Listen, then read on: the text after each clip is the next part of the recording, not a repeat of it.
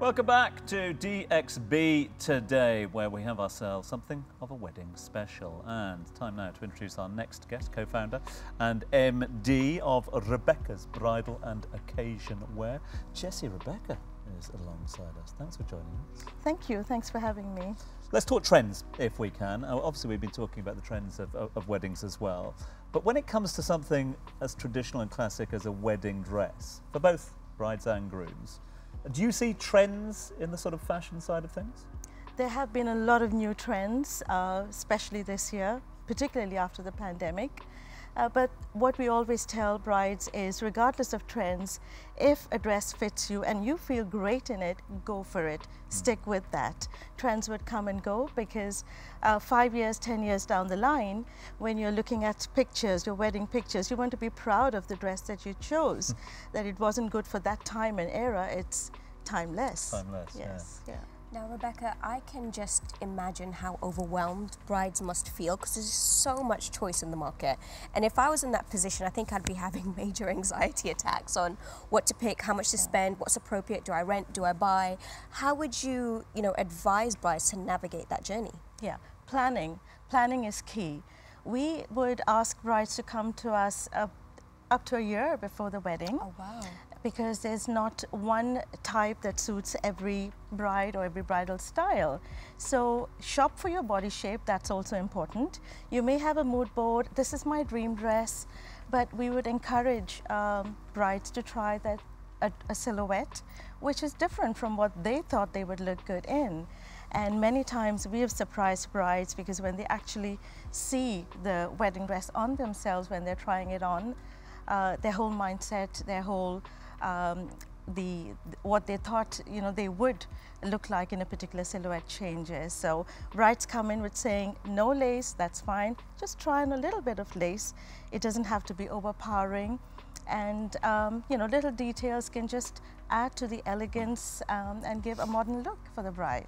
Jessie, that was actually something I was going to bring up because that exact same thing happened to me. I had a very fixated, um, you know, idea of the types of dress that I wanted to have, and the lady said, "Hold on, just try this," and that ended up being my dress. So keep open-minded, brides. Yeah. But one thing I wanted to ask you: you're, you're known for being quite an inclusive boutique. Absolutely. Um, yeah. You know, as a voluptuous lady, I struggled a little bit finding dresses in my size, to be honest. So what size range do you go up to? Are you inclusive of women of all shapes and sizes? All brides beautiful. This is what Rebecca's Bridal believes in and we talk about it. So we have sizes from UK 2 up to UK 30. There are different personalization options of color. Uh, it's the bride's special day and each dress needs to speak her style, her personality. So whether you're a plus size bride, you're a petite bride, you're a very tall bride, that would also need a lot of attention. Mm. We have a dress for every bride at Rebecca's. I mean, speaking of having an every dress, you brought one in and it looks absolutely gorgeous. What can you tell us about the dress that you brought in today? Well, this is a beautiful designer dress by Maggie Sottero, a well-known international designer. Mm. It's a ball gown with sparkly lining and beautiful lace, lace motifs placed really uh, nicely and beautifully. It just is more busy on the top where of course there's more attention to the bride, you know, around her face and hair. And then uh, the motifs uh, are a little bit less busy as you go down the skirt of the dress. Uh, it's got spaghetti straps as well. Again, this dress is available made to measure uh, from sizes 2 up to size 30. I want to know about some of the weird requests that you get because surprisingly enough, I was recently talking to a wedding dress designer and she said there's a big trend in black wedding dresses now. Are you starting to see weird requests? There has been a pop of color, not just black, there would be red, there would be a beige lining of blush or champagne. And what's great about the wedding dresses uh, today is that you have several options to give the same dress a different look with sleeves, without sleeves. Uh, the bride walks into the ceremony with a very flared ball gown and soon that detachable skirt disappears so she can, you know, dance and be free at her wedding party. So um, one of the options uh, that the bride came up with was she wanted to have a short cocktail dress and she was very, very particular about sustainability. So definitely not a second dress. She wanted it all to happen in the same dress. So what we did was we put a zipper on the fishtail or the mermaid of the skirt. And as soon as the ceremony was done, it was easy to unzip, and she had a really nice, sleek, well-fitted Genius. cocktail dress to party in. So that was going to be my question with regards to that, because look, we're DXB today. We're talking and celebrating all things the Dubai destination wedding with something so personal, but also traditional as well. Um, do you have to manage expectations? Because if people are getting dre- uh, wed- wed here, the weather conditions might be a little bit different. Is comfort also imperative? Comfort uh, along with fit is very, very important, which is why we always ask the bride the theme of the wedding, especially the venue.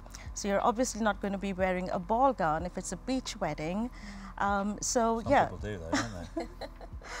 well, yeah, some people do. Yes, that's that's true. you know, getting married in Dubai is very Yeah. different to having a winter wedding back in it the is, UK. it is. And Dubai being a very popular wedding destination, we have brides coming from outside of Dubai as well.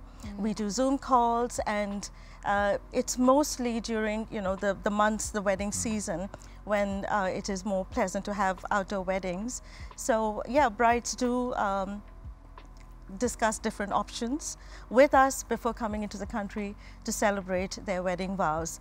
Now, for brides who choose to get married in another part of the world, we did have a lot of experience with the pandemic. You know, venues kept changing. We would put on sleeves, we would take the sleeves off, we would add an extra layer of lining because they were getting married somewhere where it was super cold. Uh, the great thing about Rebecca's Bridal is we're not just a bridal boutique, we actually make wedding dresses as well. So all of those personalization options can be done in-house with the bride not having to go elsewhere to have the dress tailored to fit, altered to fit, or have more options on the Grooms as well? dress. Well, grooms sometimes accompany the bride, and uh, we make sure there's complete confidentiality. We just tell the groom uh, she's going to be wearing jeans and a sparkly T-shirt. So.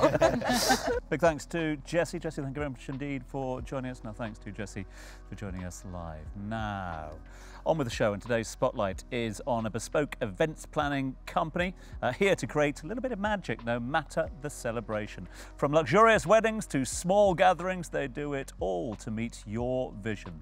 This is We Do Events.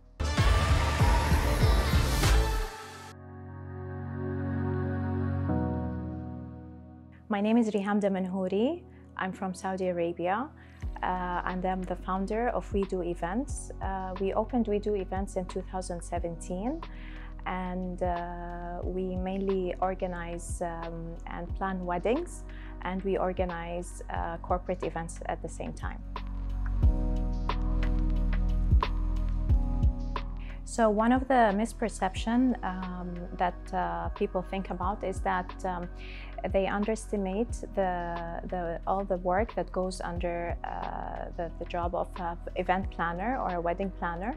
And that's something that we try to address and, and put some awareness to, to people so that they can have an understanding of how we can help and how we can uh, make their lives much easier. I would say that we um, that we managed to uh, to go through COVID and to recover uh, from the COVID period. Uh, so we came up and up and running, and uh, that was a major milestone because unfortunately some some companies had to shut down, uh, but we managed to to continue and come up on our feet afterwards. Uh, so right now we would like to expand the team and uh, we also we want uh, to extend our businesses into other locations so we have a bigger reach in our uh, destination wedding businesses. Uh, so it was quite easy uh, and surprisingly easy for us uh, to do all the registrations and the licenses and put it in place. Uh, so that was uh, quite easy at the beginning and also because Dubai has um, a lot of nationalities so we are able to cater and to uh, organize uh, a lot of uh, weddings from for for clients who are coming from different backgrounds and different cultures. They do exactly what they say on the tin. They do events. Uh, right, talking of events, it's time for the roundup. Do. What you got for us? So today's roundup is about flowers actually. Flower shipments actually jumped by 20% year on year as peak period for weddings begin in Dubai. This comes from our very own Emirates Sky Cargo shipping 3,590 tons of fresh flowers as demand soar amid, amid peak wedding season. Now, Rhiannon, Yeah. tell us about the flower craze in Dubai. What have you seen? I mean, flowers in this region are huge, especially when it comes to weddings and events. Um, they take a big take up a big segment of the wedding budget. Um, it varies from culture to culture, but indeed the Emirati brides, the Arabic brides in particular, love flowers.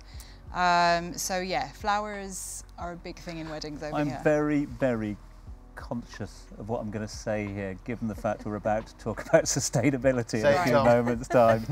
um, and it's, it's, it's, you know, 20 years ago, it wasn't a big discussion. Now it is a big discussion, especially when you're talking about sustainable weddings. And it isn't. It, I'll tell you the one thing that, I, that amazes me is that we're, we're having such advance here at the moment in the growing of salad greens and vegetables and, and, and the farming, the hydroponics, and all the infrastructure that's going into that. And yet we're still not growing flowers. flowers, yeah. Um, and that's why we're dependent so much on freight. Um, it's a discussion that needs to be had you know? I mean i'm in a in a position where i'm all about inspiration and helping brides find their suppliers but i also do have a moral conscience and i do i do tackle issues that a lot of platforms like mine don't. You know i'm talking about ai in the wedding industry right now AI for flowers. example. Ai flowers. Um, sustainability i've touched on that a lot on bride club because it you know there are many ways that you can have a beautiful wedding and also reduce your impact on the environment I was going to say, speaking of sustainability, what suggestions would you make if someone says, I don't really want to do the flowers, they're very bad for the environment? Plastic flowers, or are there other solutions? I mean, plastic flowers aren't great. I mean, they're not ideal, great for but- the environment, are they? but look, I mean, look what you have on the doorstep. We've got, you know, an abundance of bougainvillea, you know, beautiful bright pink flowers, greenery, local, you know, locally sourced florals, um, uh, candles, um, soy candles, um, natural elements, rocks, you know, there's all sorts of things you can use. It depends on the theme, of course, but your wedding planner, if you've got a smart and clever and creative wedding planner, they can help you um, create a, a beautiful wedding. Yeah. But I actually did want to ask the flowers after the typical wedding, yeah. do they get thrown away afterwards? Well, I'm actually not a wedding planner, but from what I know, more and more of my wedding planner clients um, have initiatives whereby they reuse reuse the florals after. So if they have another, another event, it could be a corporate event, it could be a birthday, they could potentially be using those flowers if they're still good for that next event. They could be giving those flowers to hospitals, for example. Um, and so there are ways that you can reuse those flowers. That makes me feel so much better. Yeah. That's true. Well, we've got more from Rhiannon coming up in just a little bit. Right after the break, what have we got though? Now, after the break, we meet a real life Dubai bride who planned her own sustainable wedding. Plus, as a part of Dubai Fitness Challenge, we're trying to bring you the best workouts in the city right here from the studio. Tonight, it's all about boxing, so don't go anywhere.